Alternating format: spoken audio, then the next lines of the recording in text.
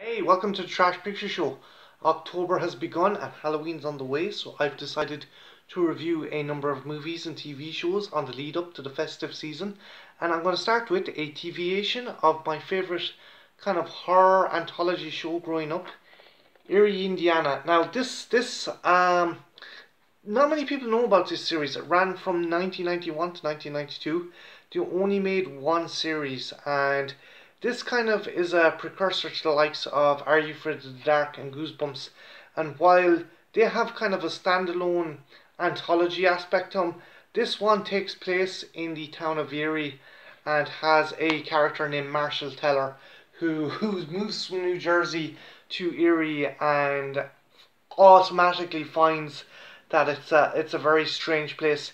Him and his friend Simon Holmes investigate weird kind of mysteries and goings on in the town, and it's it's it's it's it's a bit messed up, but it's also cool. It's it's it's a horror show for kids, and I I think it's a lot more tongue in cheek than the likes of Are You Afraid of the Dark and Goosebumps, but but it's it's it's more fun as well. It's more referential to um.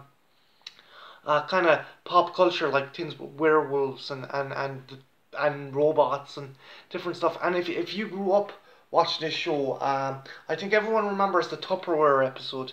This woman used to keep her sons in these giant vats of Tupperware to keep them young forever. I think they spent like thirty years in the uh, uh, seventh grade. And um, uh, Marshall Teller, he's a really likable kind of kid. He he not only is he kind of pissed off that he's moved from uh, New Jersey of all places to Eerie, and he just finds us he just he doesn't understand kind of the small town and, and why everything's all kinds of messed up and stuff.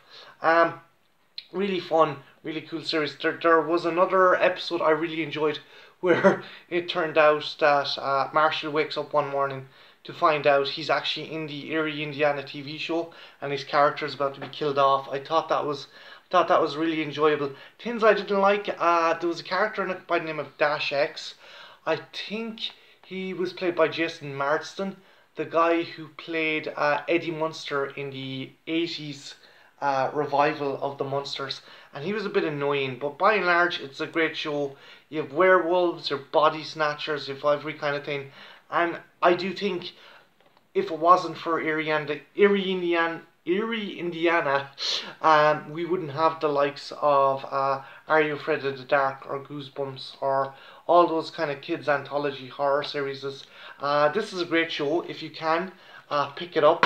The it comes in three discs. All the episodes are on there, and it does come with this cool little booklet that has a map of Eerie. And uh, yeah, it's fun if you've if you've kids who want to watch something a bit spooky or a bit creepy for Halloween, uh, I highly recommend this. So uh, that's my review of the series Eerie, Indiana. Um, if you have any memories of the show or anything you'd like to comment or any parts of, about it, just leave them in the comments below. And uh, yeah, my name's Martin. This has been the Trash Picture Show, and uh, have a good evening. Take care. Bye now.